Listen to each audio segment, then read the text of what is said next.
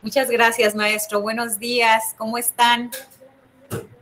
Eh, vamos a empezar eh, con esta plática el día de hoy. Yo les pido, por favor, que eh, si no pueden abrir sus micrófonos cuando tengan alguna duda o algún comentario, nos lo hagan a través del chat para que podamos participar todas y todos, por favor. Les voy a proyectar nuestra presentación y en un momentito empezamos.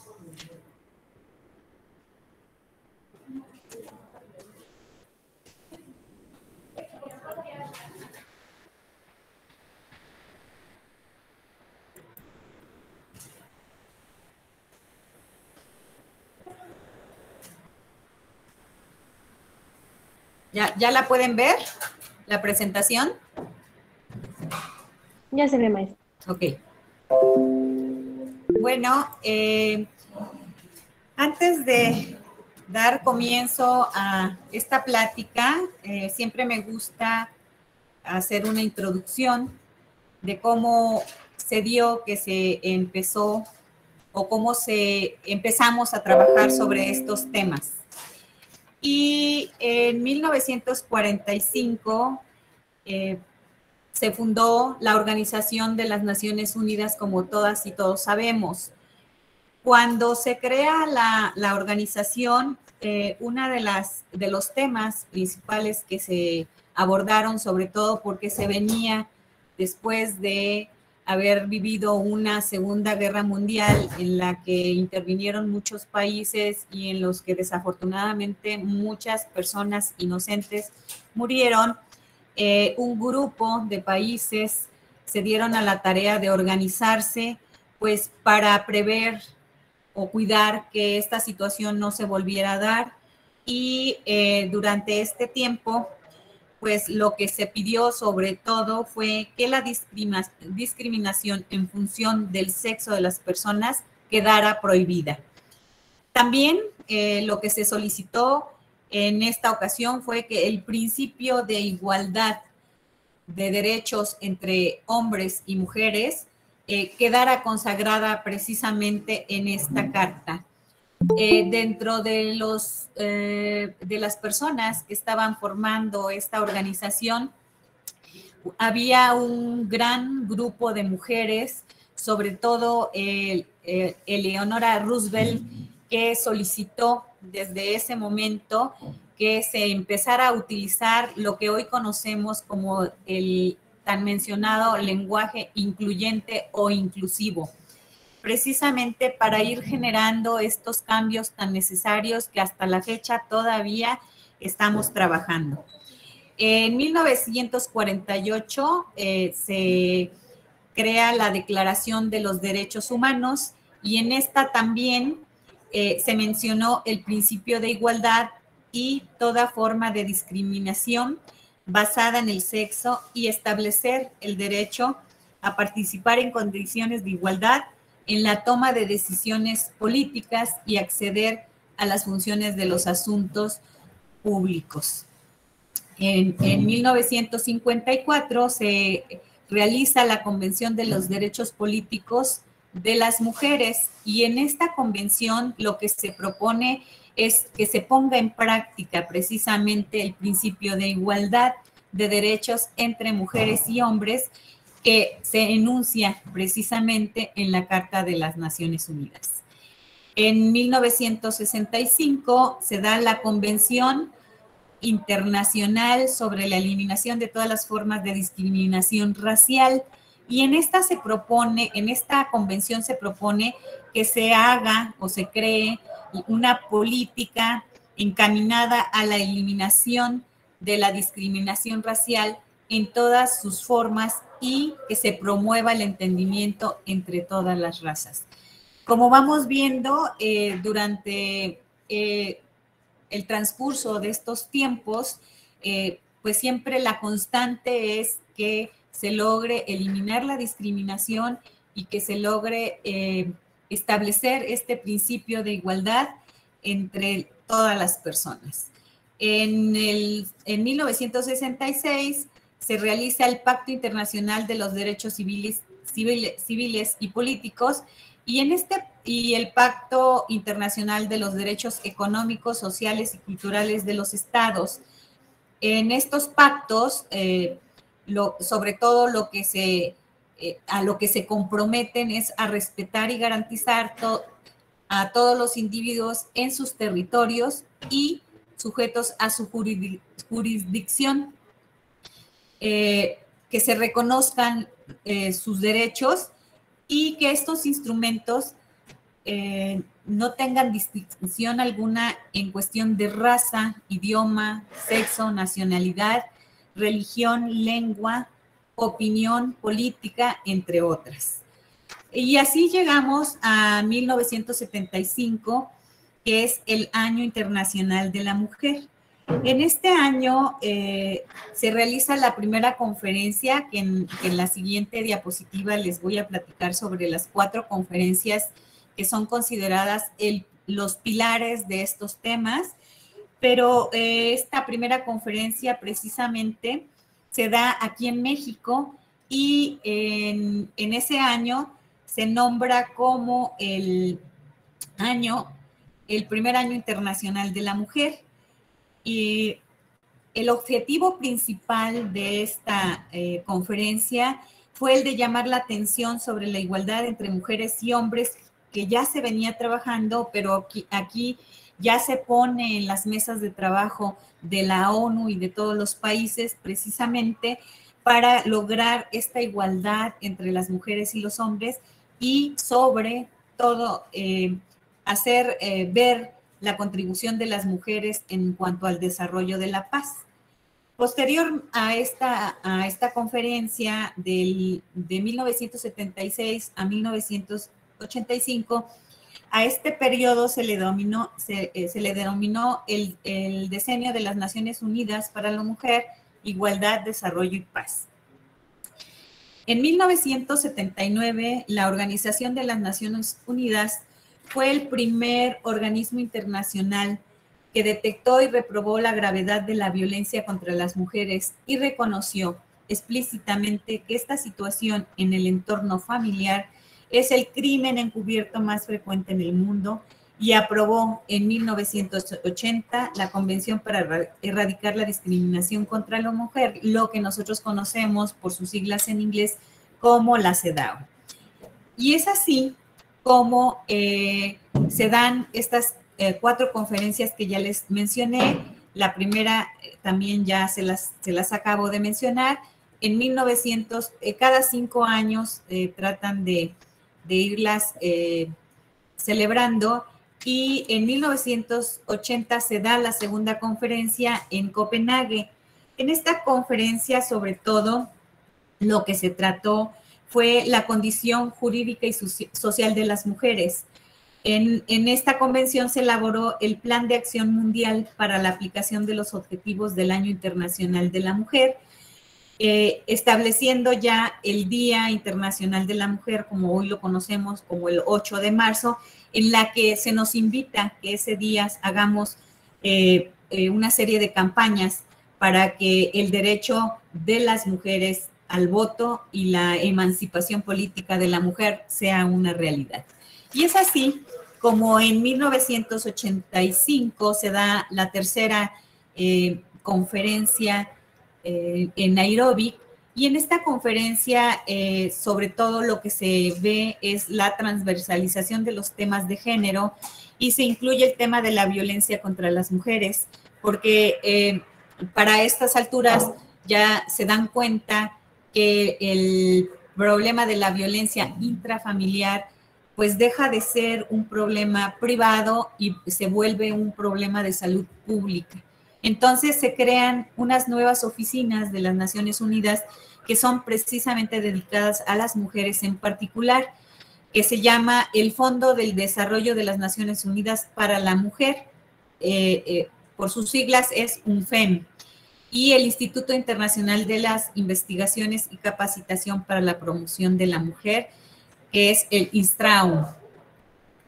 Llegamos así a la cuarta conferencia que se da en 1995 Y en esta conferencia se aprobó la declaración de la plataforma de Beijing, que es con la que actualmente seguimos trabajando y cada cinco años se hace una revisión para ver cuáles han sido los avances que se han logrado para llegar a la tan mencionada Agenda 2030, que, eh, en la que se incluyen 17 objetivos y eh, dentro de ellos seguimos trabajando precisamente en todas las cuestiones de género y en todas las cuestiones que involucran a la inclusión y a la igualdad entre mujeres y hombres.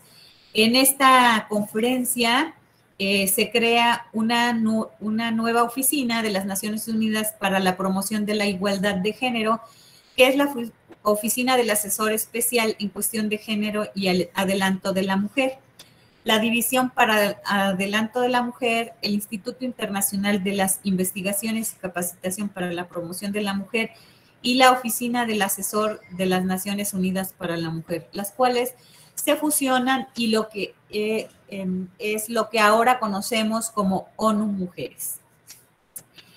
Desde la década de los 90, los esfuerzos emprendidos por las organizaciones de mujeres los expertos y algunos gobiernos comprometidos con esta cuestión lograron una profunda transformación de sensibilización pública respecto al problema de la violencia en contra de las mujeres. Así, en la conferencia realizada en Viena en 1993, la ONU reconocía la urgente necesidad de integrar a la mujer en la aplicación universal de los derechos y principios relativos a la igualdad seguridad, libertad, integridad y dignidad de todos los seres humanos.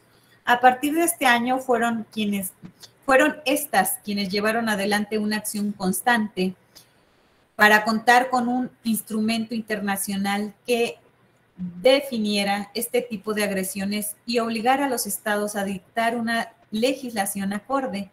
Es así como en el 94 en Belém do Pará, Brasil, la Asamblea General de la Organización de los Estados eh, Americanos adopta la Convención Interamericana para, prevenir, sancionar y erradicar la violencia en contra de las mujeres. Y en la cuarta conferencia mundial de las Naciones Unidas sobre eh, las mujeres, celebrada en Beijing, se declara que la violencia que enfrenta constituye un gran obstáculo para el logro de objetivos globales de equidad, desarrollo y paz, y subraya que esta situación menoscaba o anula el goce de los derechos humanos de las libertades fundamentales de la mujer y limita seriamente su capacidad para promover sus actitudes, lo que viene a dar un realce importantísimo a anteriores enfoques como la justicia penal y la salud. Eh, miren, para nosotras es importante que ustedes reconozcan o conozcan eh, cómo, se ha, cómo ha ido evolucionando esta situación de eh, promover la igualdad entre mujeres y hombres y cómo es que derivado de todo esto que les acabo de platicar, en el 2008, primero en el 2006, se se publica en el diario oficial la ley eh, general para em, la igualdad entre mujeres y hombres. Esta, ¿Esto qué quiere decir? Esta ley eh, aplica en todo el territorio mexicano y en el 2008 se genera ya la ley de igualdad entre mujeres y hombres en el estado de Puebla. Y obvio, de esa fecha a ahora se le han hecho reformas y aquí eh, se hace la mención de que se reforma el artículo 34. Este artículo 34 es muy importante, sobre todo para nosotras las mujeres, porque hace referencia a que ninguna mujer pueda ser, eh, se le pueda quitar su trabajo o pueda ser, este, em, pues no corrida, sino que se le, se le rescinda su contrato laboral por el simple hecho de estar embarazada. Entonces, son de las modificaciones que, eh, México ha tenido que ir hacerle, haciéndole cambios a sus leyes eh, precisamente para dar cumplimiento a estos eh, tratados que a nivel internacional México ha firmado. Entonces, si no existe ninguna duda o algún comentario hasta aquí, continuamos con la presentación. ¿Algún comentario, alguna duda hasta aquí? No, ninguno. Perfecto. A ver, adelante. En el 2018 es como se da vigencia a la ley, porque una cosa es como conocer, ¿no? Que la ley y otra cosa es que ya se ponga, eh, pues, como una sanción. Es 2008, hija. Esta ley es, eh, mira, en el 2006, una ley, la primero la trabaja, se trabaja en el Congreso, ¿sí? Eh, tanto diputados como senadores trabajan estas leyes, pasan a revisión y demás y una vez que ya está aprobada por el Congreso, entonces se publica en el diario oficial. Cuando una ley es general, quiere decir que es como la ley base que va a regir en toda la República, ¿sí? Cuando, eh, y los estados tendrán que tomar como base esa ley y luego crear la suya en cada estado, que es lo que sucedió con esta ley, ¿sí? Entonces, en el 2006 sale la ley general para todo, todo México, todos los estados de México. Y en el 2008 se publica en el periódico oficial del, del estado de Puebla ya la ley de igualdad entre mujeres y hombres del estado de Puebla. ¿Sí? Cuando una ley es federal, esta ley es de aplicación en toda la República y los estados la tienen que cumplir, ¿sí? Pero cuando una ley es general, los estados tienen la obligación de crear una ley interna para su estado. Em, no vi quién me hizo la pregunta. Giovanna. Sí, muchas gracias. Sí, ¿Sí, quedó claro, hija? Sí, sí, muchas gracias. Es 2008, no es 2018. O sea, sí tiene ya un ratito que se empezó a trabajar en el 2001, aquí en México, precisamente eh, eh, después de que se firman todos estos tratados a nivel internacional, eh, se empieza a trabajar precisamente todos estos temas y después de haber trabajado estos temas en el 2001 se crea el Instituto Nacional de las Mujeres, que es quien liderea precisamente todos estos temas de género aquí en México y quien, quien hace la propuesta de estas leyes al Congreso, ¿sí? Entonces, hasta aquí, ¿nadie más quiere hacer algún comentario? ¿Tiene alguna duda? ¿No? Bueno, entonces continuamos eh, con, nuestra presentación y bueno, la, esta ley eh, tiene cuatro, cuatro este, Contempla cuatro aspectos o cuatro títulos y el primero es disposiciones generales, el segundo son de las autoridades, su atribución y la coordinación interinstitucional, que esto se refiere a que eh, como las diferentes instituciones del gobierno, del Estado, tienen que funcionar para llevar a cabo esta ley. Y eh, el tercer título nos habla de la política estatal en materia de igualdad entre mujeres y hombres. Y el último, de los derechos de las mujeres y los hombres. Eh, para comentar sobre las disposiciones generales, me va a apoyar mi compañera Giovanna. Sí, claro, maestra. Bueno, eh, las disposiciones generales es de lo que tratará pues, la presente ley. Eh, con ello, eh, pues establecerá un marco jurídico, eh, pues a fin de cumplir todas las obligaciones entre la igualdad de hombres y mujeres aquí en el Estado de Puebla, explicando qué derechos tenemos como individuos para ejercerlos. como segundo paso, generar las condiciones idóneas para lograr la eliminación de cualquier forma de discriminación que se llega a presentar eh, por razones de género. Y pues con ello pues también se eh, explicará más adelante qué ejemplos y qué situaciones se pueden presentar ante distintas discriminaciones y qué pues derechos podemos tomar para tomar acciones.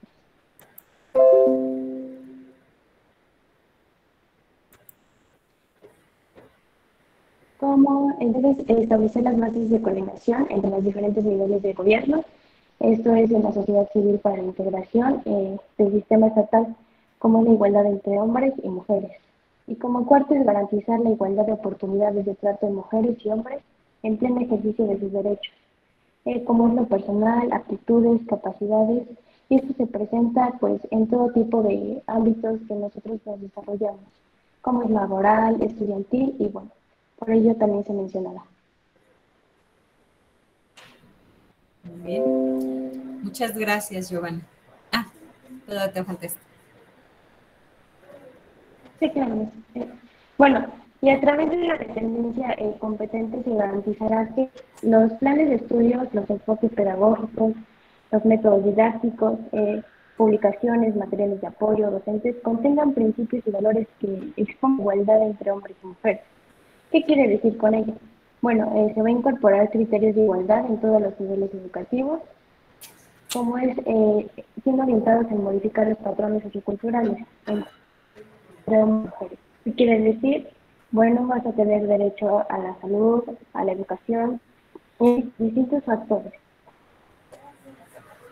con el que orientarán a capacidades educativas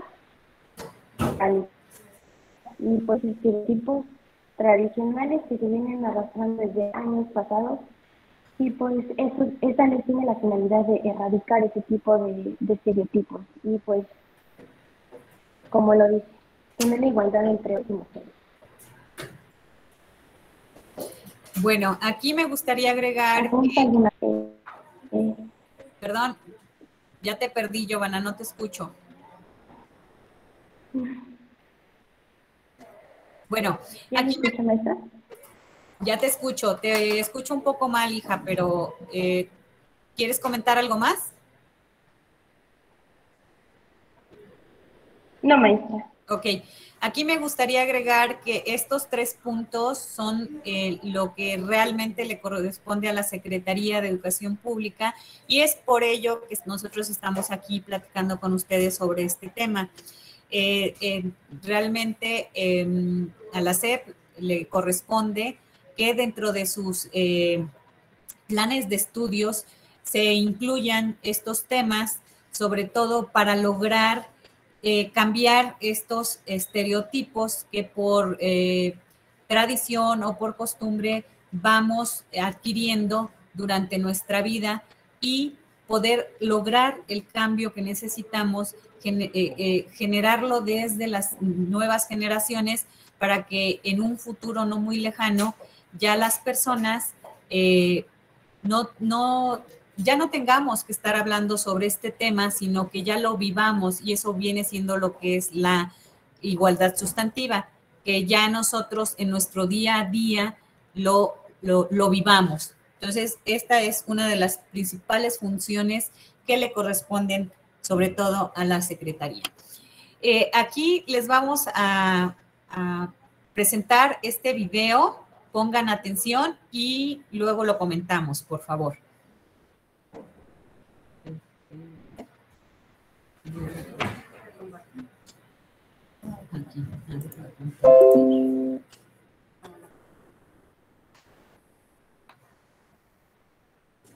Ya es igual.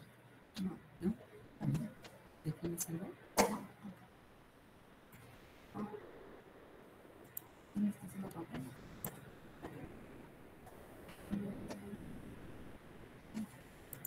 ¿Cuál está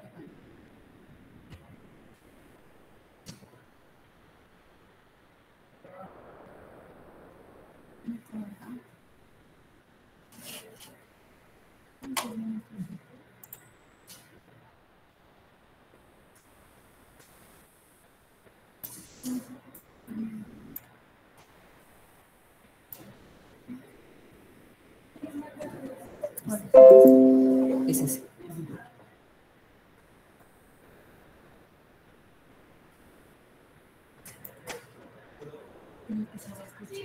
¿Se escucha? ¿Sí logran escuchar?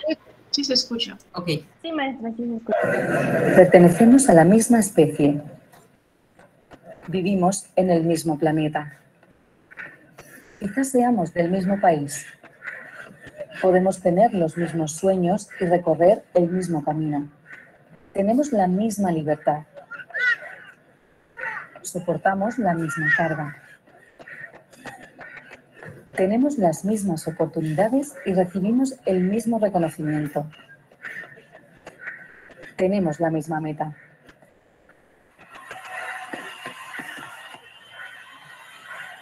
No nos engañemos. En la carrera de la vida, las mujeres tienen las mismas capacidades, pero más obstáculos para llegar a la meta. Prácticas sexistas e inadecuada atención sanitaria y social deterioran la salud de mujeres y niñas en todo el mundo. Mira a tu alrededor, implícate y da un paso adelante por la igualdad y la salud de las mujeres. Sin equidad de género, no se puede cumplir el derecho a la salud. Actúa, practica igualdad.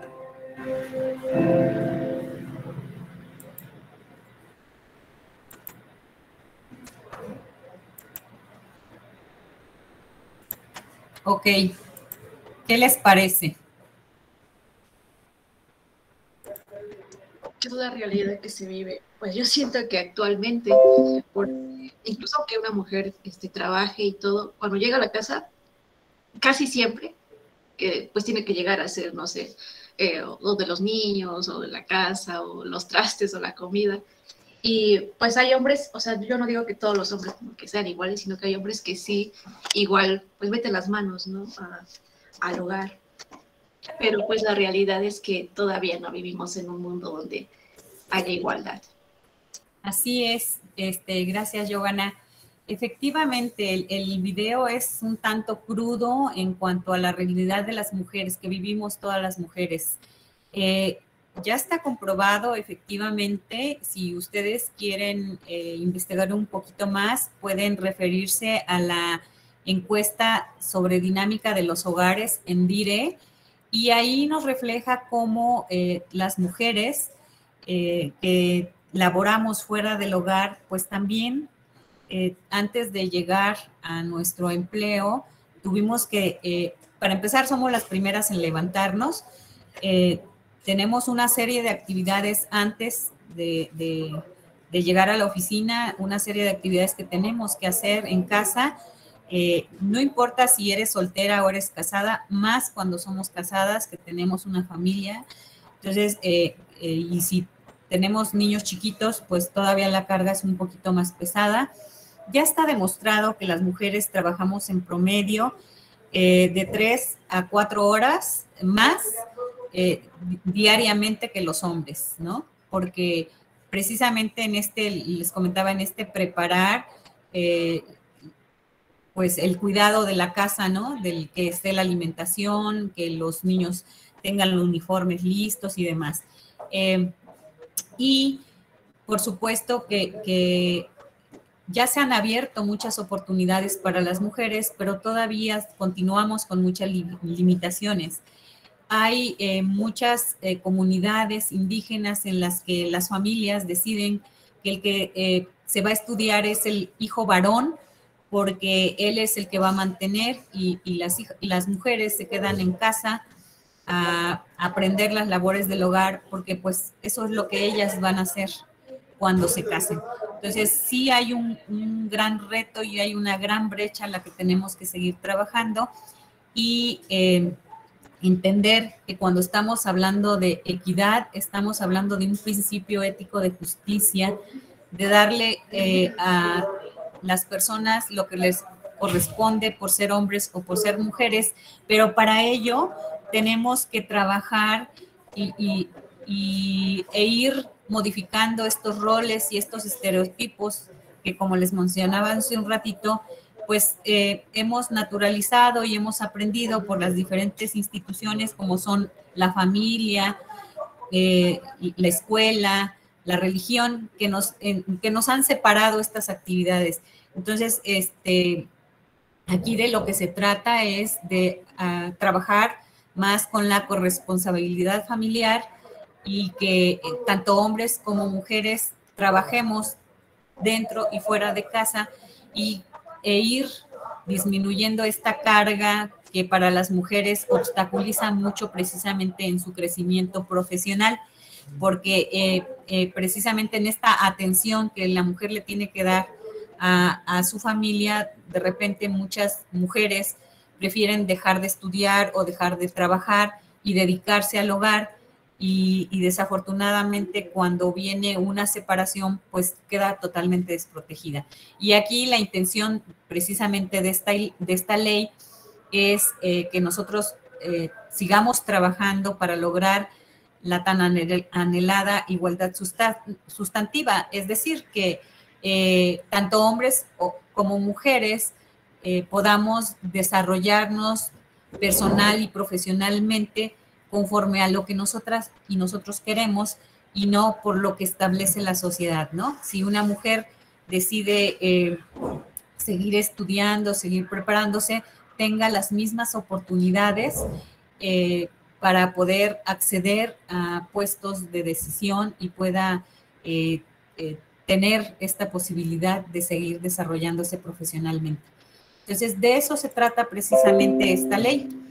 Y eh, dentro de, bueno, perdón, ya, ya estoy avanzando y alguien más que quiera participar, alguien más que me quiera comentar sobre este video, aparte de Giovanna. Yo sí les pediría, por favor, que intervengan para que esto sea más fluido y para que el aprendizaje sea para todas y para todos. Entonces, sí me gustaría que alguien más, estamos aquí 98 personas, que alguien más participara, por favor. Si no pueden hacerlo por su micrófono, lo pueden hacer a través del chat, por favor.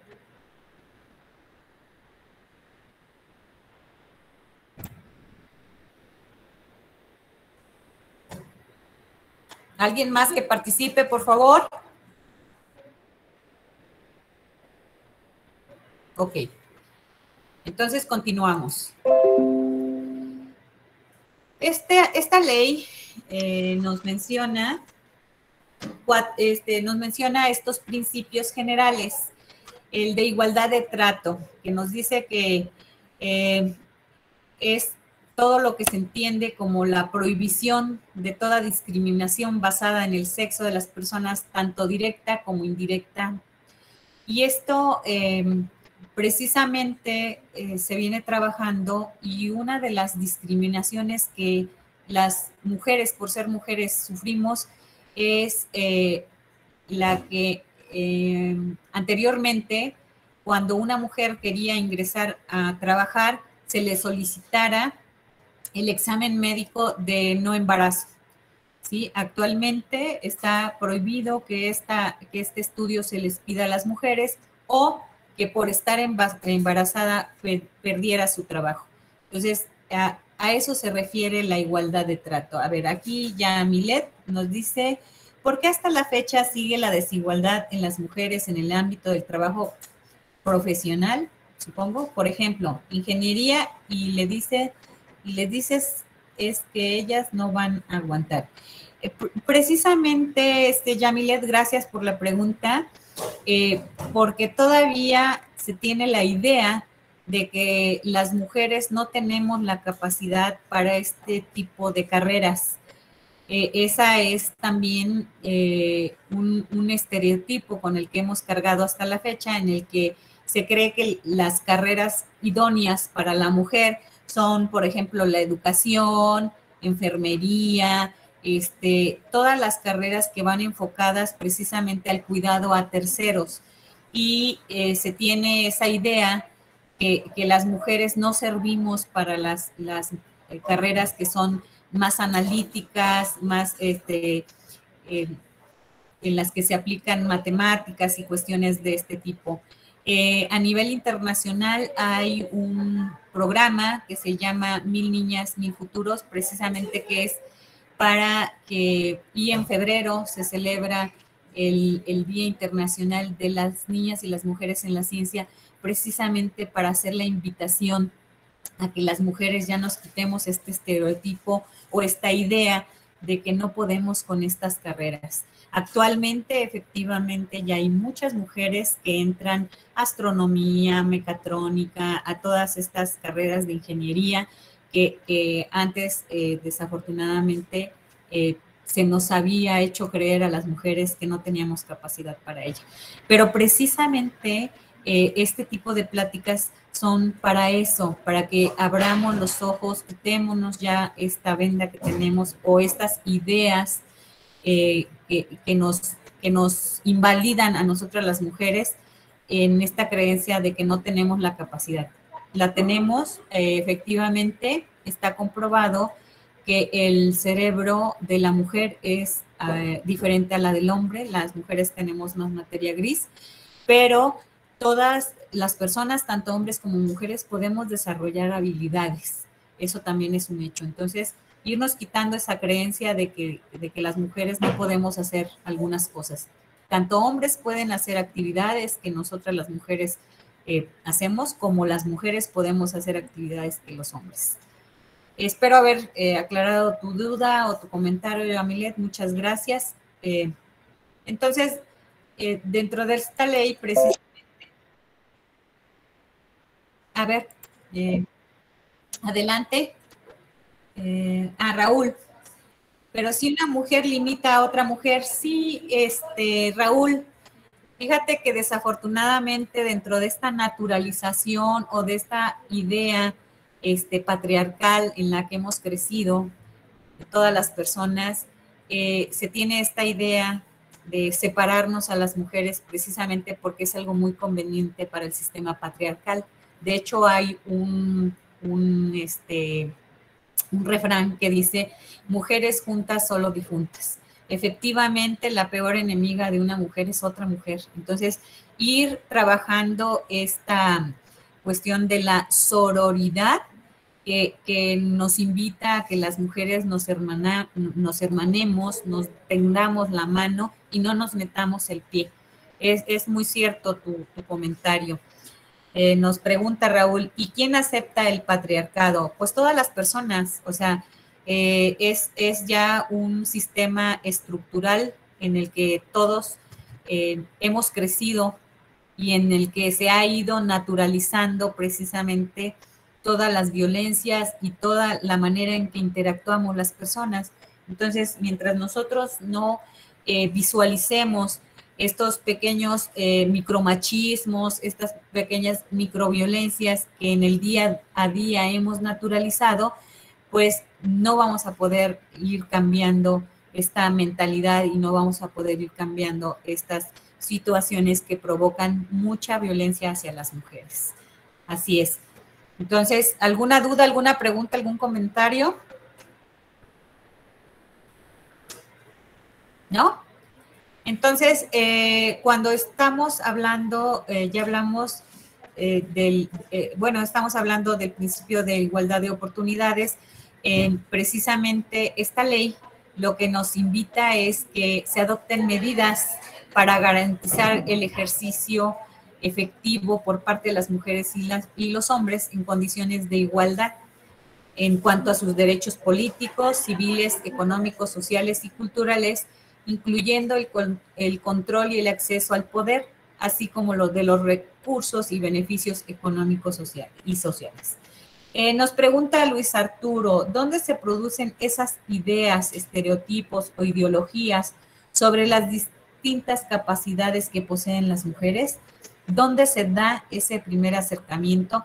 Pues mira, eh, eh, esas ideas son construcciones sociales con las que hemos crecido. Por ejemplo, desde el momento que una mujer está embarazada, el simple hecho de que le preguntemos qué va a ser el bebé para ir preparando ya nuestro regalo, si es niño, que sea todo azul y que sean carritos o pelotas, y si es niña es todo rosa y muñequitas y muñitos, desde ahí ya estamos etiquetando a las personas, ya estamos estereotipando a las personas, ¿no?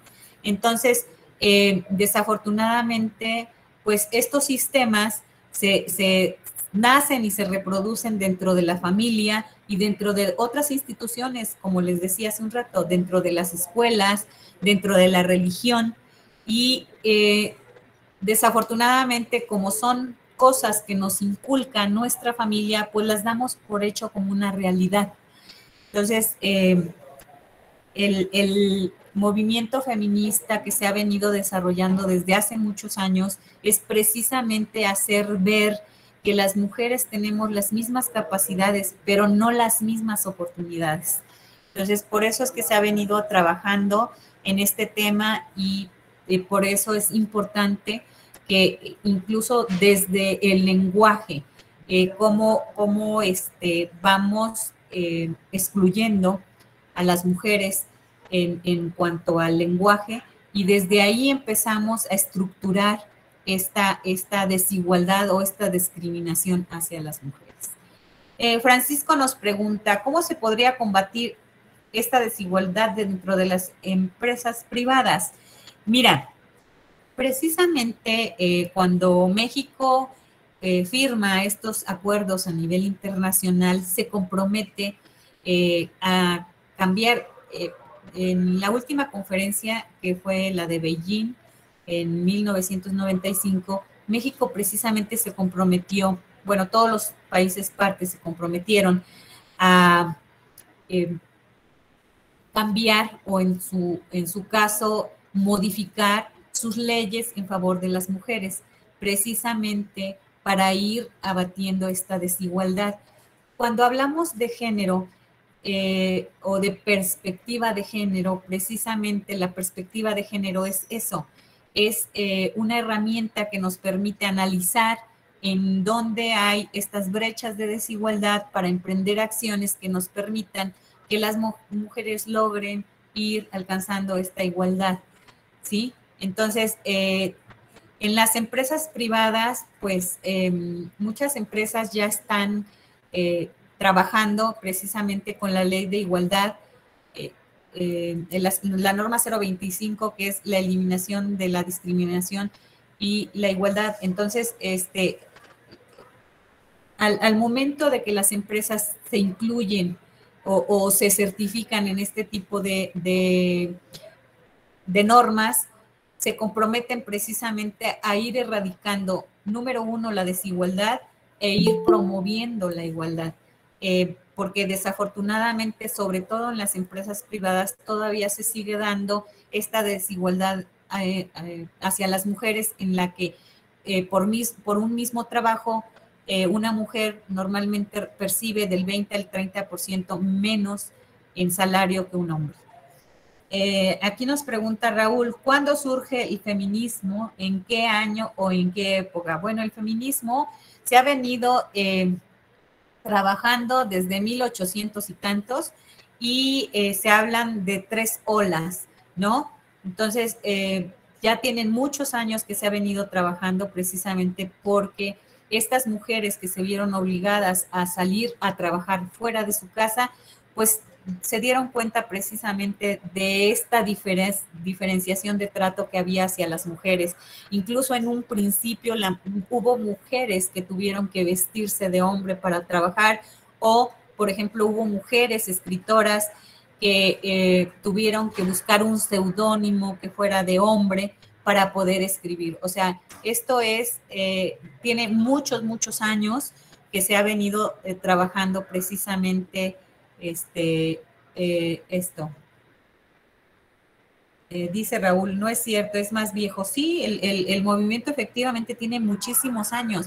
Se tiene, em, eh, pues, evidencia que es como, te, decía, como de 1800, la fecha exacta no me la sé, pero el, el movimiento es muy, muy viejo.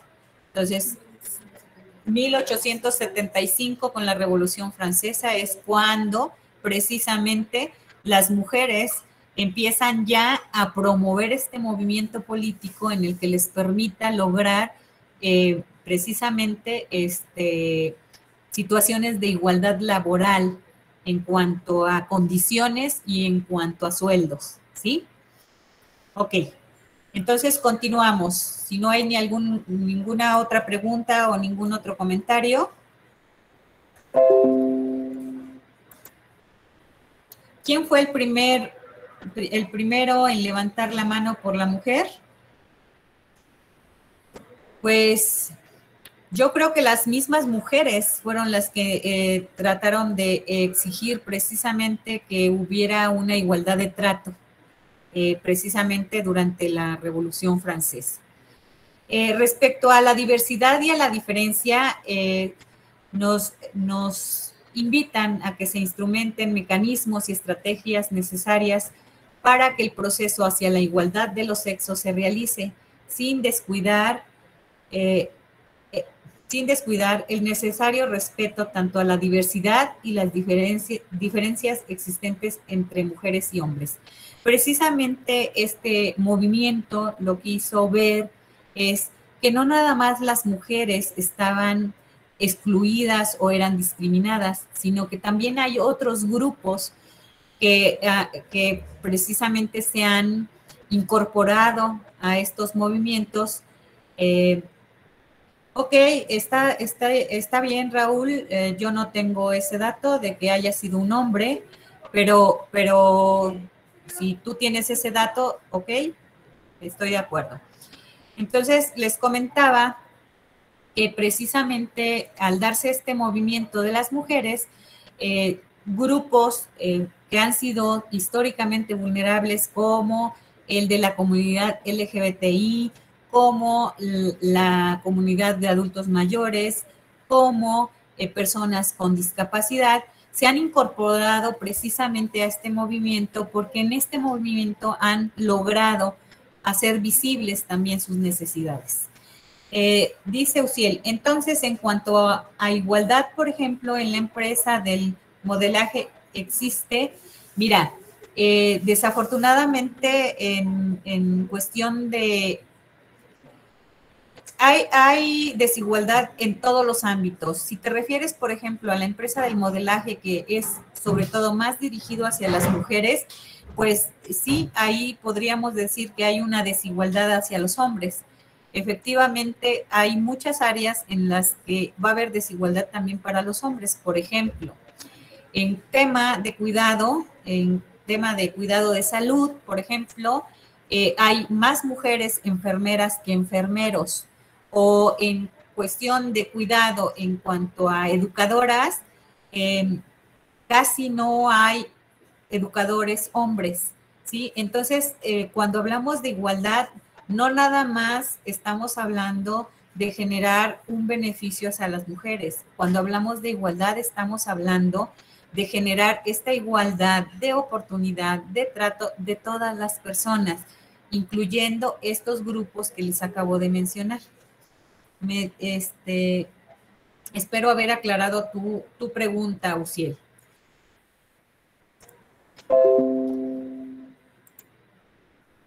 Gracias a ti. Eh, nos habla también esta ley sobre la integración de la perspectiva de género y eso ya más o menos se los había comentado y nos dice que es la consolidación sistemática de las diferentes situaciones, condiciones, aspiraciones y necesidades de mujeres y hombres, incorporando objetivos, actualizaciones específicas dirigidas a eliminar las desigualdades y promover la igualdad en todas las políticas y acciones de los niveles y las fases de planificación, ejecución y evaluación. Nos pregunta Raúl, ¿género o preferencia sexual? Son dos cosas diferentes, diferentes. Una cosa es género y otra cosa es preferencia sexual. Eh, el género eh, es, em, es una construcción social que nosotros aprendemos, ¿sí? En la que se nos enseña cómo nos debemos comportar cuando somos mujeres y cómo se deben comportar los hombres. Y la preferencia sexual es la, orientación que una persona puede tener en cuanto a su, inclinación a relacionarse afectivamente con una persona de diferente sexo o con una persona de igual sexo.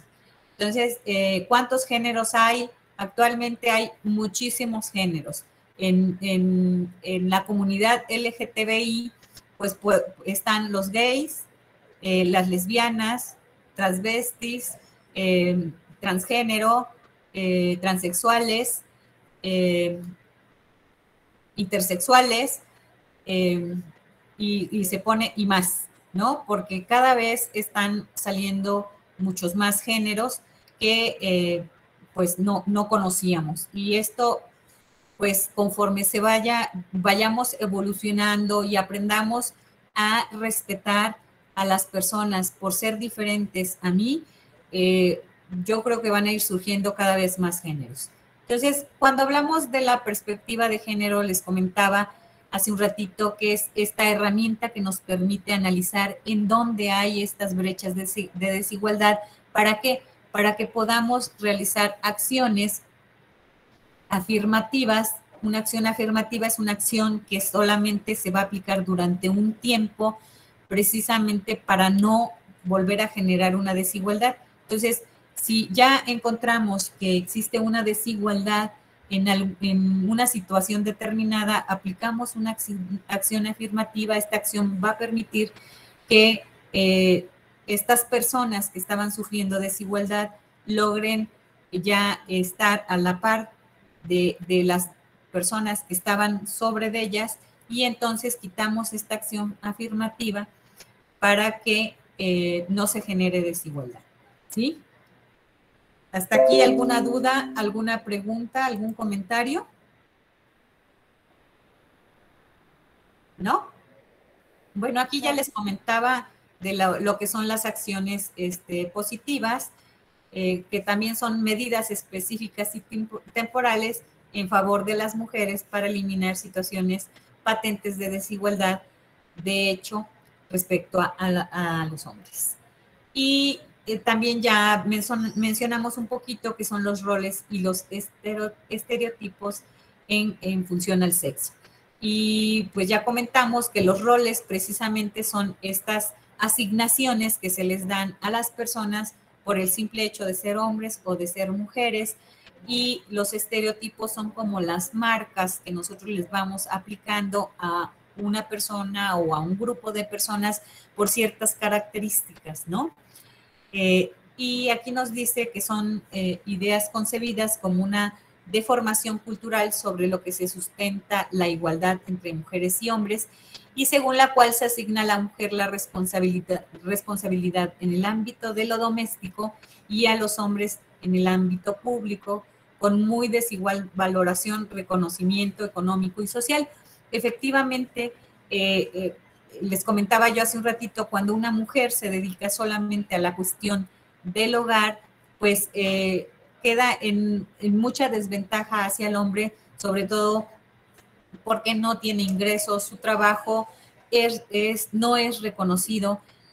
por ejemplo, no sé si a ustedes les haya sucedido que luego nos preguntan, ¿no? ¿A qué se dedica tu mamá? Y, nuestra respuesta es, pues a nada, está en la casa. Pero el que la mamá eh, se quede en la casa no implica que no se dedique a nada, porque el, limpiar, el hacer la comida, el em, ir a comprar los víveres, el estar pendiente de la salud de la familia, todo eso representa un trabajo que si nosotros eh, o nosotras tuviéramos que pagarlo, eh, tendríamos que eh, desembolsar aproximadamente como 7.500 mensuales. Entonces, el trabajo de la mujer dentro de del hogar ni es reconocido ni es pagado. Entonces, por eso es importante eh, reconocer este, este trabajo que, las mujeres generan dentro del hogar. Usiel nos pregunta, en cuanto a estereotipos, usted mencionó lo de los regalos. Entonces, cuando sea ese tipo de ocasiones, ¿qué se puede dar? ¿O cómo puedo no caer en ese tabú? Eh, miren, eh, yo creo que lo ideal es no encasillar a los niños con color azul y a las niñas con color rosa. No encasillar a los niños con solo carritos o solo, solo eh, avioncitos o pelotas. Los niños pequeños, si ustedes, de hecho por ahí hay algún video en el que se deja a los niños pequeños escoger diferentes juguetes y los niños todavía no tienen esa conceptualización de, que qué cosas o qué colores son asignados para los niños o para las niñas. Entonces, tratar de evitar encasillar a las personas en colores y en, ciertas eh, eh, juguetes. Por ejemplo, a las niñas permitirles que jueguen con carritos, a los niños permitirles que jueguen con muñecas y eso yo creo que nos va a ir preparando a ser más igualitarios y miren, hay una situación en cuanto hace, hace un rato comentaba, ¿no? Los hombres también sufren desigualdad. Efectivamente, también este, sufren de desigualdad. Y les voy a decir cuál. Si un hombre decide, decide ser amo de casa en la actualidad, mucha gente lo critica porque lo considera un flojo o porque lo considera que, porque tenemos esta idea, ¿no? De que el trabajo del hogar no es trabajo. Entonces, eh, cuando trabajamos ya con esta cuestión de la igualdad, es aceptar que si un hombre decide quedarse como amo de casa y la mujer es la que sale a trabajar y la pareja eh, está de acuerdo, las demás personas no deben meterse, porque sí, efectivamente, ahí sí estamos eh, cometiendo desigualdad hacia los hombres.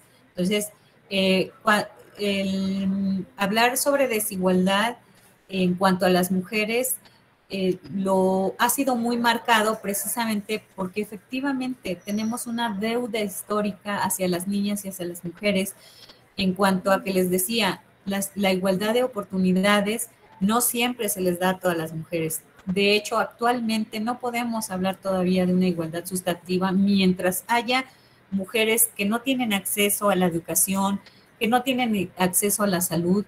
Todavía no podemos hablar de la igualdad sustantiva. Raúl nos dice, pero en ocasiones son las mujeres mamás que restringen a los bebés. Sí, desafortunadamente por, estas, eh, por esta educación, esta cultura que hemos adquirido, que hemos naturalizado, o sea, no podemos, nosotros estamos acostumbrados a que si en nuestra familia eh, nos enseñaron, nos educaron de tal manera, pues para nosotros eso es lo normal, eso es lo natural, pero no necesariamente es así. Y en este caso, cuando estamos hablando precisamente de la igualdad, es cuando estamos eh, haciendo, tratando de hacer visible este tipo de situaciones. Y eh, por eso es importante que hablemos de estos temas con ustedes, que son las futuras generaciones, que ustedes van a educar a, sus hijos y que van a entrar a trabajar en ambientes en los que probablemente todavía encuentren mucha desigualdad.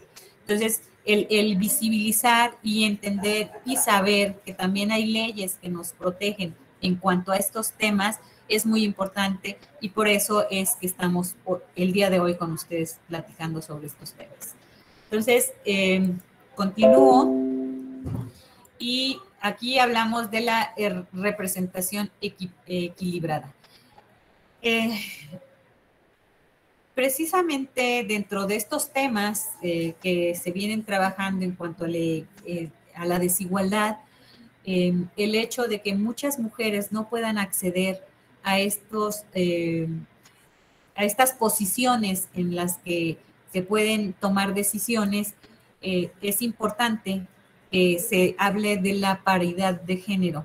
Y cuando hablamos de paridad de género, estamos hablando de que en, tanto en, en nuestros congresos como en nuestros gobiernos, llámese municipales, estatales o federales, haya eh, posibilidades de que las mujeres se involucren más en las cuestiones políticas del gobierno en los tres niveles.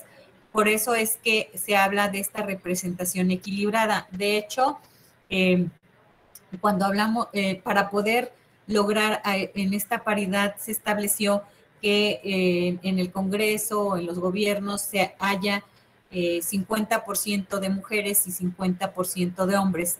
Y esto está siendo una acción afirmativa. En un futuro no muy lejano, lo que se pretende es que no, no precisamente haya un 50-50, haya el porcentaje que haya, eh, que sea de personas que están preparadas para desarrollar esas funciones sin tener que estar haciendo la diferencia si es hombre o es mujer.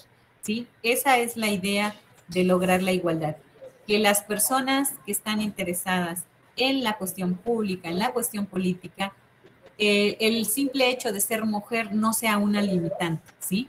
Sino que sea, eh, que estas posibilidades estén abiertas para ambos sexos, no sin importar precisamente el que se sea hombre o sea, se sea mujer. Y em, eh, dentro de lo que se ha venido trabajando precisamente en la ONU, en la Organización, de las Naciones Unidas, es precisamente, eh, por eso les hice este recorrido histórico de 1945, que es cuando ya empezamos a hablar, eh, más bien ya le pusimos nombre y apellido a la cuestión de lo que es la desigualdad y la discriminación. Sin, si sigue siendo, existiendo discriminación, no podemos hablar de igualdad. Entonces, por eso es importante analizar este concepto de discriminación. Y este concepto abarca tres aspectos fundamentales. El primero que habla de la acción. ¿Qué es lo que hacemos cuando nosotros, cuando todas nosotras y nosotros discriminamos? Le negamos a las personas sus, sus posibilidades, le negamos eh, las oportunidades. Entonces, ¿qué hacemos? Excluimos, hacemos distinción, ¿Y, qué es lo que hacemos cuando, cuando estamos excluyendo a alguien, cuando la estamos eh, apartando de estas posibilidades? Eh, pues ahí es cuando viene el motivo. ¿Por qué, por qué estamos este, discriminando? Discriminamos porque hay personas que son diferentes a nosotros, ¿no? Porque puede ser que sean de otra raza por su color de piel, porque tienen una cultura, una lengua eh, diferente a la nuestra, por el sexo, por el género. Y aquí en el género eh, eh, estamos hablando de que discriminamos a las personas por su orientación sexual, por su edad, por, por, ser adulta mayor o por ser niño o niña, por que una mujer está embarazada, porque una persona tiene una discapacidad, porque una persona pertenece a, una comunidad indígena. Ese es el motivo por el que discriminamos. ¿Y cuál es la finalidad de esa, de esa discriminación? Pues es el impedir que esta persona logre eh, tener todos sus derechos, eh, sea libre de ejercer sus derechos humanos. Entonces, eh, por eso es importante analizar este concepto de la discriminación y aquí yo siempre trato de hacerles la invitación a todas y a todos de que podamos eh, analizar en qué momento nos han, discriminado, nos han discriminado por cualquier motivo o concepto y en qué momento nosotros hemos discriminado, porque de esta manera eh, nos vamos haciendo más conscientes de estos pequeños detalles que les digo, les digo que por naturaleza aprendemos y que de repente los hacemos en nuestro día a día y no nos damos cuenta de qué manera estamos discriminando o estamos excluyendo a otras personas. Mm, em, nos comenta Raúl Alejandro, pero sí ya tenemos gobernadoras mujeres. Sí, efectivamente, precisamente porque se trabajó mucho en esta paridad de género. Precisamente antes de que hubiera esta posibilidad de que hubiera mujeres eh, que intervinieran en la, en la actividad pública, eh, se dio el caso de un grupo de mujeres que eh, pues compitieron para obtener un puesto público y una vez que obtuvieron el, el, su curul dentro de un congreso, les hicieron que renunciaran y que quedara con su suplente que era hombre. Entonces, aquí también ya hubo una modificación en las leyes en la que se establece que si una mujer está aspirando a un puesto público o una curul, su, eh, su suplente tiene que ser otra mujer precisamente para que no se dé estas situaciones, ¿no? Que en un principio se dieron para nada más hacer simulaciones en las que eh, supuestamente se les daba oportunidad a las mujeres de poder acceder a estos puestos públicos, ¿no? en cuanto a la discriminación contra la mujer, nos dice que es, toda distinción, exclusión o restricción basada en el sexo que tenga por objeto o por resultado menoscabar o anular el reconocimiento, goce o ejercicio por la mujer, independientemente de su estado civil, sobre la base de la igualdad del hombre y la mujer de los derechos humanos, las libertades fundamentales en las esferas políticas, económicas, sociales, culturales y civiles o en cualquier otra esfera. Si nosotros estudiamos un poquito eh, esta cuestión de cómo se dio el feminismo y demás, eh, nos podemos dar cuenta que no hace muchos años, precisamente la mujer no podía acceder a ser propietaria, por ejemplo, de tierras, o que no hace, mucho, no, hace muchos años, no recuerdo si es 53, 56, fue cuando ya se le permitió aquí en México a la mujer votar, ¿sí? Y obvio también poder ser votada. Entonces, eh, estos cambios se han venido dando recientemente. Aparentemente pareciera que es desde hace mucho tiempo, pero no.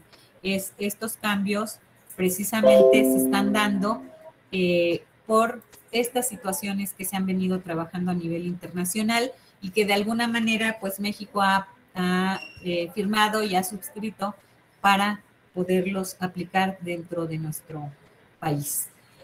Eh, aquí nos habla de la igualdad de género, que eh, nos dice que es la situación en la cual mujeres y hombres acceden con las mismas posibilidades y oportunidades al uso, control y beneficio de los bienes, servicios y recursos de la sociedad, así como a la toma de decisiones en todos los ámbitos de la vida social, económica, política, cultural y familiar.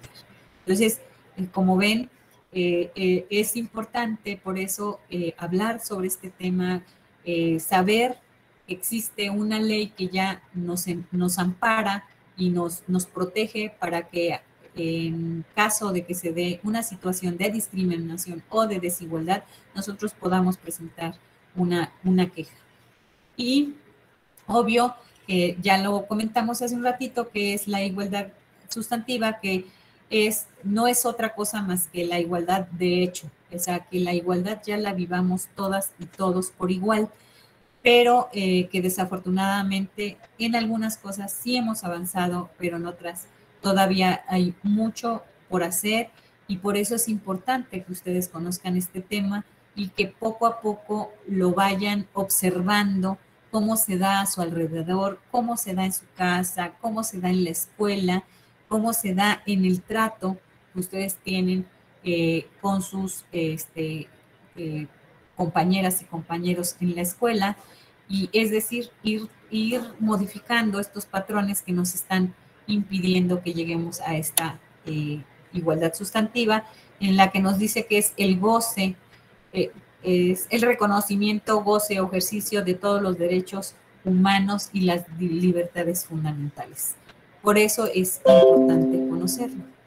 Y la perspectiva de género, yo ya se los resumí hace un ratito, que es una herramienta que nos permite analizar precisamente en dónde o en qué situaciones se están dando estas eh, brechas de desigualdad y para, para que una vez que ya las detectamos podamos emprender acciones que nos permitan eh, ir eliminando estas desigualdades que se nos dan en nuestro día a día.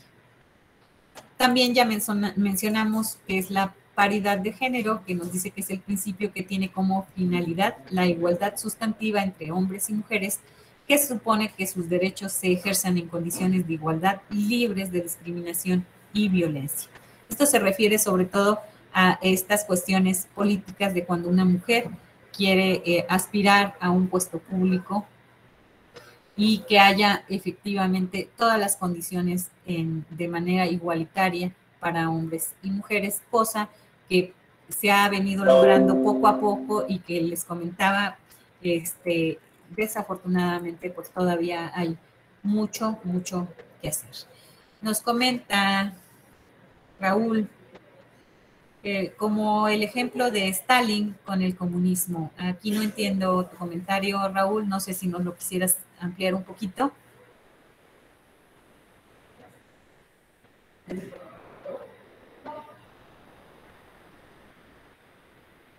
Ok. Eh, Raúl, ojalá nos pudieras ampliar un poquito tu comentario porque no, no entiendo a qué, a qué haces referencia. Ok. Eh, obvio, eh, esta ley tiene objetivos y tiene acciones. y tanto estas, eh, estos objetivos y estas acciones están encaminadas a que contemos con un marco jurídico idóneo precisamente que propicie la eliminación de cualquier forma de discriminación y defina los principios básicos en la manera en que se va a actuar, eh, que va a actuar el poder público y que nos establezca las bases en cómo se va a coordinar esta integración y cómo va a funcionar el sistema estatal que asegure las condiciones necesarias para lograr esta igualdad. O sea, emanada de esta ley tenemos un sistema de igualdad. Este sistema de igualdad precisamente se encarga de realizar las acciones que se necesitan para eh, eh, que se respete, número uno, esta ley de igualdad, para eh, también hay una política de igualdad a nivel nacional para que esta política de igualdad se ejerza en todos los niveles y podamos darle entonces cumplimiento a la ley de igualdad. Dentro de los objetivos y acciones del gobierno estatal, eh, porque em, dentro de esta eh, ley lo que nos establece es cuáles son las obligaciones que le corresponden al Estado y cuáles son las obligaciones que le corresponden a los municipios para que entre municipios, Estado, puedan trabajar a nivel federal eh, toda esta, esta, ley y este, todos, todos en, en la República Mexicana tengamos acceso a esta ley de igualdad. Y, em, y nos dice que en primer lugar eh, le corresponde al Estado, les comentaba, a nivel nacional está la Ley General de Igualdad entre mujeres y hombres y hay una política eh, de igualdad que está a nivel nacional. Y ah, ya eh, a nivel de Estado, el Estado tiene la obligación también de ya sea tomar la ley de igualdad nacional o elaborar una ley de igualdad para el Estado y tiene que hacerla, le tiene que hacer difusión, o sea, todas las personas debemos conocer esta política y sobre todo tenemos que respetarla.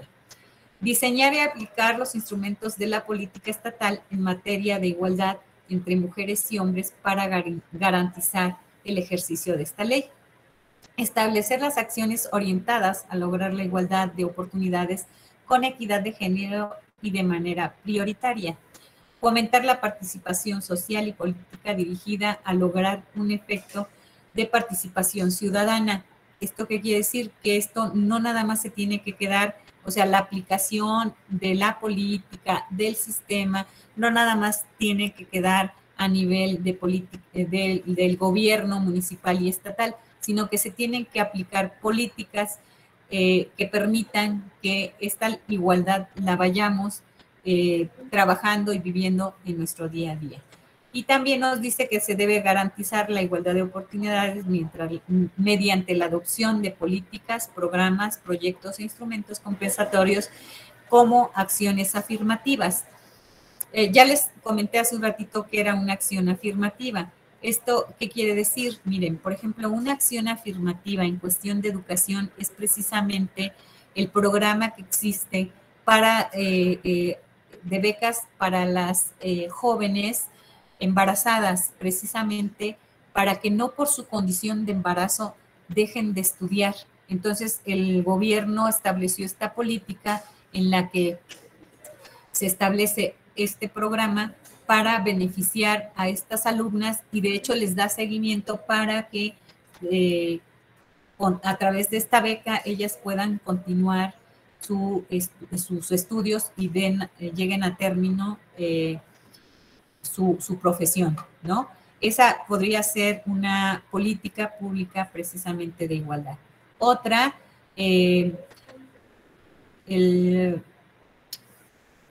Existe eh, actualmente aquí en el estado de Puebla el Instituto para las Personas con Discapacidad. Ellos se encargan precisamente de, hacer, acciones que eh, les permita a las personas con discapacidad poder moverse en igualdad de circunstancias en, en, las calles. Por ejemplo, no sé si han observado que en el centro eh, pusieron estos semáforos que, que tienen sonidos estos semáforos precisamente son para que las personas eh, que son ciegas puedan transitar en el centro sin ningún problema y puedan atravesar una calle cuando el semáforo se lo permita. Esa también es una acción precisamente de igualdad. Eh, ¿Qué otra cosa puede, qué otro ejemplo les puedo dar? El, por ejemplo, el que haya estas becas, perdón, a nivel superior para que ustedes eh, puedan continuar con sus estudios también es otra acción que el gobierno ha realizado precisamente para que podamos seguir trabajando en, esta, en estas acciones de igualdad. Permítame un segundo. Ok. ¿Hasta aquí alguna duda? ¿Alguna pregunta? ¿No? Ok. Les decía, así como el gobierno del estado establece sus objetivos y sus acciones, pues los municipios también.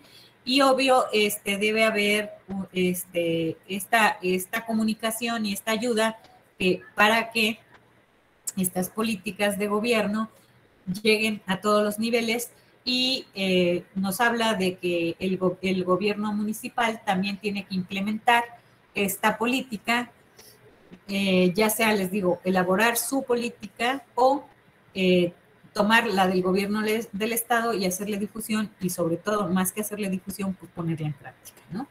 Y también eh, el municipio tiene la, obligación de ayudar con los diferentes órdenes de gobierno para la consolidación de los programas en materia de igualdad entre mujeres y hombres. Esta, existe el pro igualdad, que precisamente es el programa para la igualdad entre mujeres y hombres y que es el que ya hace, realiza estas acciones tanto en el gobierno municipal como en el gobierno estatal para lograr eh, este, esta igualdad o eh, ayudar a que el sistema de igualdad se realice. También nos dice que debe diseñar y formular y aplicar campañas de concientización así como programas de desarrollo de acuerdo a la región en, las materias que esta ley le confiere. Es decir, eh, no podemos aplicar a veces las mismas eh, políticas en una región que, en otra. Se debe analizar precisamente por municipios cuáles son las acciones que el municipio en particular necesita para poder eh, realizar estas acciones que beneficien a la, a la comunidad a la que pertenece esa, ese municipio. Y también nos habla de eh, fomentar la participación social y política de la ciudadanía dirigida a lograr la igualdad entre mujeres y hombres, hombres tanto en las áreas urbanas como en las rurales e indígenas. Entonces, es lo que les comentaba, ¿no? Se tiene que hacer un análisis de cuáles son las necesidades en lo particular de las regiones rurales y de las indígenas para poder ahí implementar acciones que favorezcan específicamente a esa comunidad. Eh, en cuanto a la observancia de esta ley, nos dice que eh, se debe dar información sobre las medidas y actividades que pongan en marcha la administración pública en materia de igualdad entre hombres y mujeres. Para ello les quiero comentar que actualmente aquí en Puebla nosotros contamos con la Secretaría de Igualdad Sustantiva y precisamente en esta Secretaría se realizan muchas acciones eh, para eh, proteger o lograr la igualdad de las niñas y las mujeres.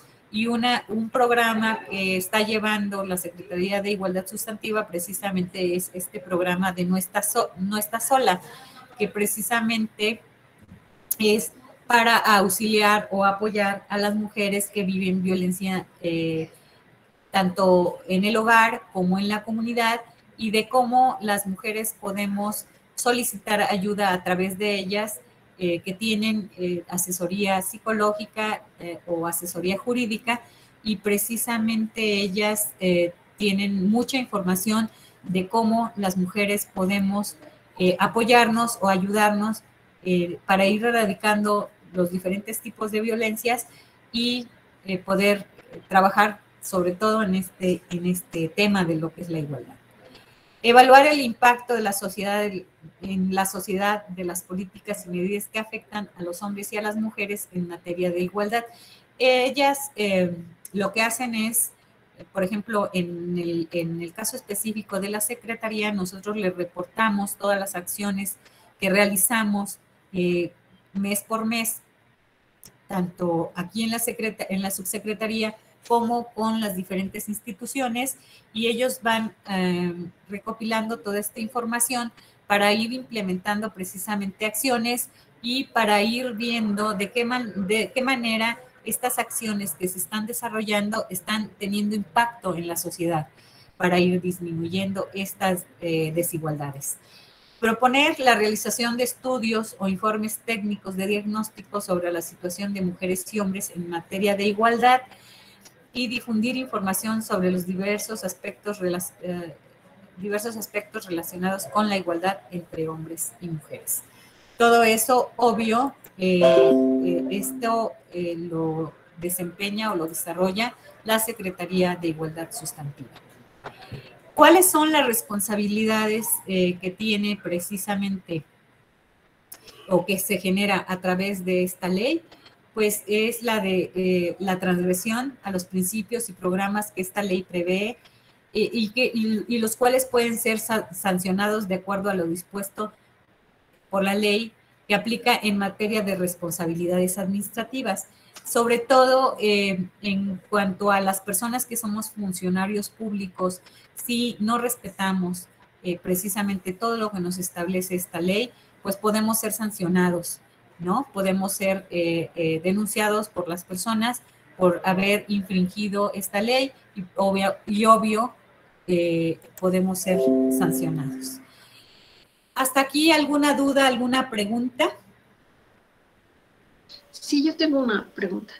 por ejemplo, si en caso de que te discriminen por ser mujer en el trabajo, ¿a dónde tienes que acudir para pues, decir lo que está sucediendo en tal empresa? sí, puedes acudir a la Secretaría de Igualdad Sustantiva o a la Comisión de los Derechos Humanos. Cualquiera de estas dos instituciones te pueden aceptar tu denuncia y te pueden asesorar para, para guiarte para que tu denuncia progrese y en determinado momento se establezca la sanción que requiera la persona o la institución que te haya discriminado o que haya violentado tu derecho a la igualdad. Muchas gracias. ¿De qué? ¿Alguna otra duda?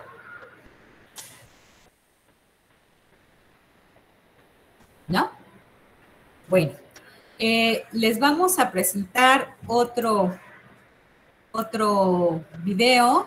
Eh, me gustaría mucho que le pongan atención, por favor.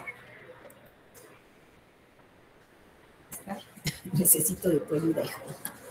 Ya, ya le quité aquí.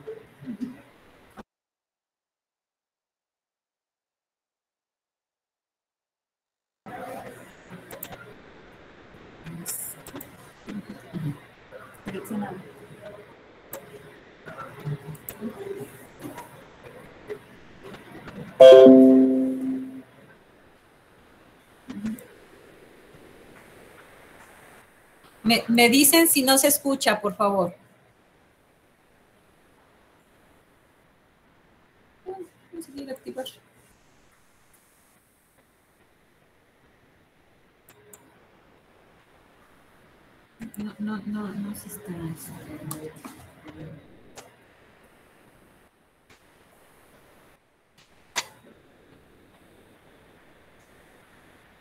Justo.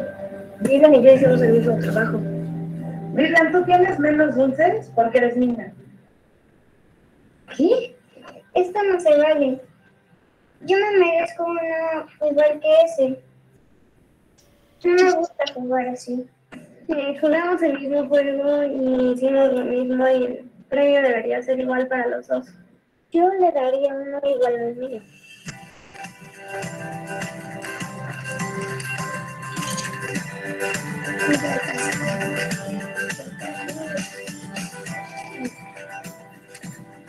Ya. Ya tenemos lo mismo. Bien. Creo que fue esta vez. Así. Así es es mejor.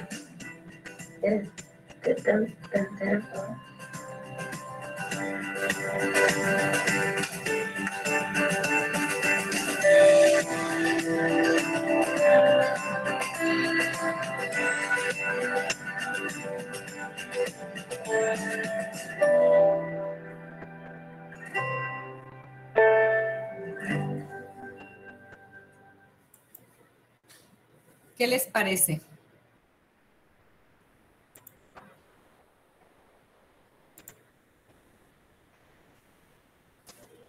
Que los niños no ven estas diferencias, ellos crecen libres y desgraciadamente nosotros pues les ponemos cosas en su cabeza que no tienen que ser. Así es, totalmente de acuerdo.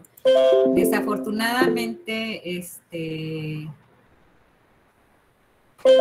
nosotros repetimos lo que aprendemos y aquí la idea es eh, que logremos generar este cambio que es necesario. Miren, cuando hablamos de temas de género, no se trata de estar mujeres contra de hombres o hombres contra mujeres. Aquí se trata de que aprendamos a respetarnos unas y otros. Que el beneficio eh, siempre va a ser para todos y para todas.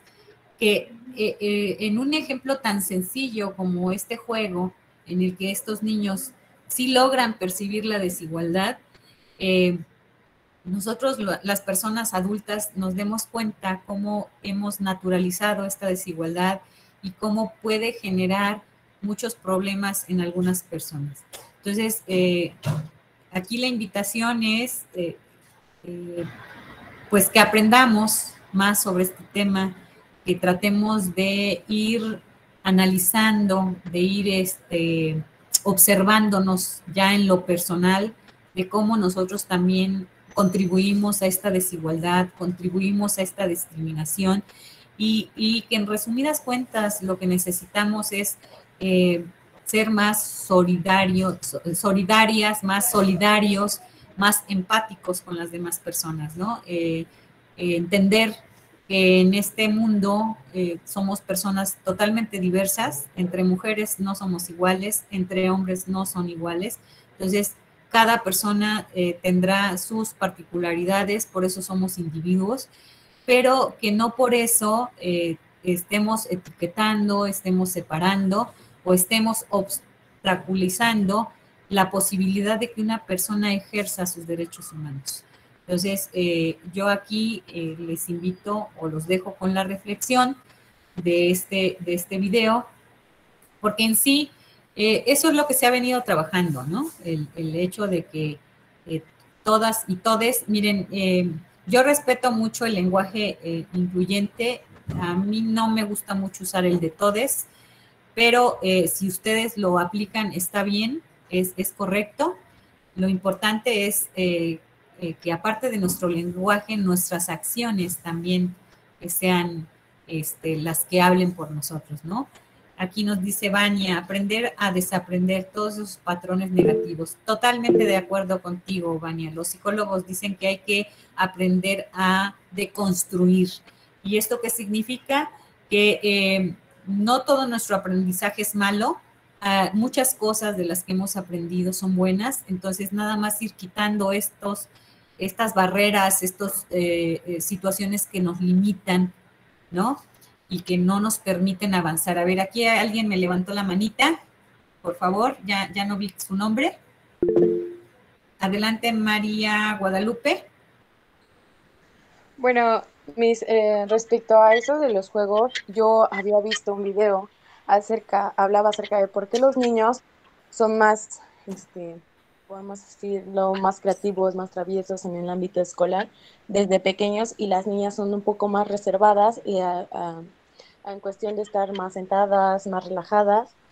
Y pues decía acerca de que la vestimenta era una, una, un método que provocaba que las niñas no pudieran desarrollarse correctamente en el método de juego, de diversión, porque la misma falda, pongámosle así, eh, no, no les permitía el desarrollo de estas habilidades como a los niños. como ellos traen pantalón, pues para ellos es más fácil correr, subir, bajar. Y por ejemplo, como niñas, pues es obvio que no puedes hacerlo porque ¿qué te enseñan? Que no se te vean tus pantaletas, que este, que siempre mantengas las piernitas cerradas, o que no corras porque te puedes caer con la falda. O sea, yo creo que desde ahí es donde también podemos empezar a ver que hay un problema. Por ejemplo, en mi caso yo iba en la prepa y a fuerza tenía que llevar la falda, a mí no me gustaba, pero a fuerza era llevarla y si no la llevabas era una sanción para ti por no llevar el uniforme correcto. Yo siento que desde ahí hay un problema también porque ah, hacemos este estereotipos de que las faldas son para las niñas y que las faldas deben de hacerte eh, presentable y que debes de estar correctamente sentada o que no puedes jugar porque tienes la falda y se te puede ver algo. O sea, yo creo que desde ahí empieza acerca de los juegos referente a este tema que ahí también hay una desigualdad y una falta de empatía hacia las niñas, pongámosle así. Porque pues es más fácil para un niño moverse cuando tiene el pantalón, no se siente seguro. Y por ejemplo las niñas, pues no, es mi punto de vista que lo comparto. Muchas gracias, María Guadalupe. Efectivamente, en, ya estudios eh, que se han realizado, se ha llegado a la conclusión de que las niñas tienden más a agruparse y a, aislarse en, las horas de recreo y que el, espacio más grande lo, ocupan los niños porque juegan fútbol, porque corren, porque brincan y, las niñas tienden más a, quedarse eh, sentadas en grupito platicando y demás.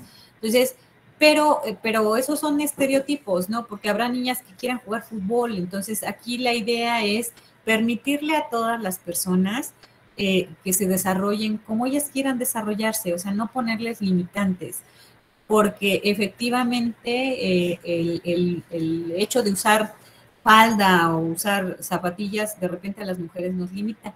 Y es cuestión cultural, porque si, si nos vamos al ejemplo de eh, que en Escocia los hombres usan falda y no, no les provoca ningún problema, eso, vaya, el, el cómo nos vistamos no nos define como personas, ¿no? Son costumbres que vamos adquiriendo. Entonces, aquí la idea es el, no limitar a las personas eh, por su manera de vestir, no, no estereotiparlas, no eh, imponerles roles, sino que si un niño quiere eh, dedicarse a, cocinar, está bien, o si quiere dedicarse a la cuestión estética de modelaje o de belleza, está bien, no pasa nada y las niñas también o las mujeres también pueden eh, realizar acciones como ser futbolistas, como, estudiar ingeniería, ser astrónomas, no sé, el, no limitar a las personas, ¿no? Esa es la intención de, esta ley. Eh, Laura nos dice, como sociedad, toda, todos y cada uno de nosotros tenemos la responsabilidad de generar ambientes y estructuras sólidas de equidad de género oportunidad de desarrollo integral y crecimiento individual y social para todos, todos los seres humanos. Así es, todas y todos debemos de, eh, poner o contribuir con nuestro granito de arena para que todos estos cambios se generen. Ayer justamente estaba eh, revisando unos datos y decían que mínimo se necesitan más de 70 años para que logremos alcanzar la igualdad sustantiva. Y hay quienes hablan de más tiempo. Lo cierto es que si todas y todos ponemos nuestro granito de, arena, tal vez eh, podamos acortar ese tiempo, ¿no? Eh, Raúl nos dice, lenguaje inclusivo, inclusive, correcto, sí es lenguaje inclusive inclusivo o incluyente, es de las dos maneras es correcto. Alma Rosa nos dice, yo creo que uno como padre debe respaldar las decisiones de los hijos, no importa que nos estemos, que estemos totalmente de acuerdo, porque de repente se truncan sueños que son pequeños, que son pequeños. Hay chefs que cocinan muy sabroso. Así es, eh, eh, aquí la idea es permitir a la persona que se desarrolle con todas sus capacidades, sin limitarlas, ¿no? Porque desafortunadamente en esta sociedad que estamos viviendo actualmente, vivimos mucha agresión, mucha violencia, en la que efectivamente vamos coartando las habilidades de las personas y las vamos encasillando eh, o, arrinconando a que hagan o, se desempeñen en, actividades que no les gustan. Entonces aquí la idea es que se logre el desarrollo pleno de las personas, ¿sí? Sin importar cómo se vista, sin importar su orientación sexual, sin importar su edad, su origen étnico, X y Y, ¿no? Entonces esta es la idea de esta, de esta ley.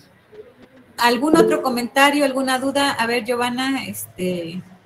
Sí, este, bueno, mandé un, video aquí en, el chat, por si le gustan ver, dura tres minutos y es respecto al tema que estamos viendo. Perfecto, muchas gracias, este, Giovanna. Muy bien, lo, lo, lo, lo copiaremos. Este, ¿Alguna duda, alguna pregunta hasta aquí? ¿Algún otro comentario? Giovanna, ¿quieres hacer algún otro comentario, hija? Bueno, pues que tomen en cuenta en llevar a cabo todo este tipo de información para pues quitar un poco de la desigualdad que hoy en día se vive y pues tomar acciones para pues de cierta forma prevenir estos tipos de factores y acciones. Muchas gracias. Gracias, hija. Pues eh, si no hay ninguna otra pregunta, Aquí les dejamos el link donde puedan ustedes descargar la ley de igualdad entre mujeres y hombres del Estado de Puebla y eh, la puedan leer un poquito más a detalle. Si gustan tomarle una foto o una impresión de pantalla para que la puedan descargar.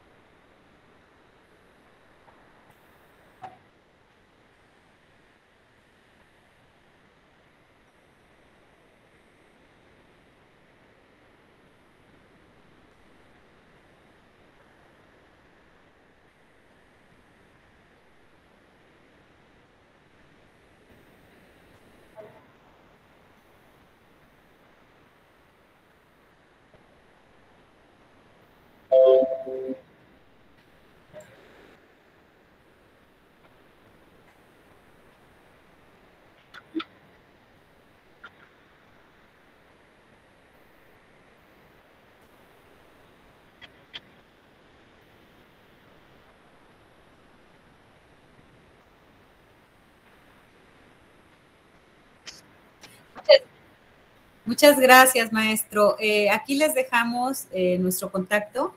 Somos la Coordinación de Igualdad de Género de la Subsecretaría de Educación Superior. Eh, está nuestro correo.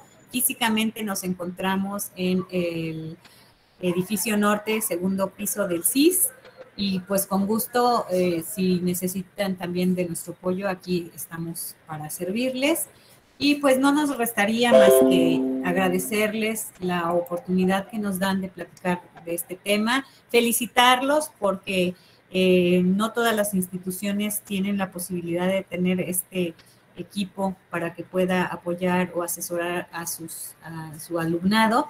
Entonces, eh, es una gran ventaja que, que, ustedes tengan, cuenten con este, con este espacio eh, porque eso nos permite también seguir trabajando el, ir eliminando las violencias. Entonces, pues no nos restaría más que eh, agradecerle a mi compañera Giovanna por el apoyo, a usted por eh, darnos la oportunidad y a todas las personas que estuvieron aquí con nosotros hoy. Muchas gracias. Bonita tarde. Gracias, bonita tarde. Gracias. Gracias. Gracias. Muchas gracias.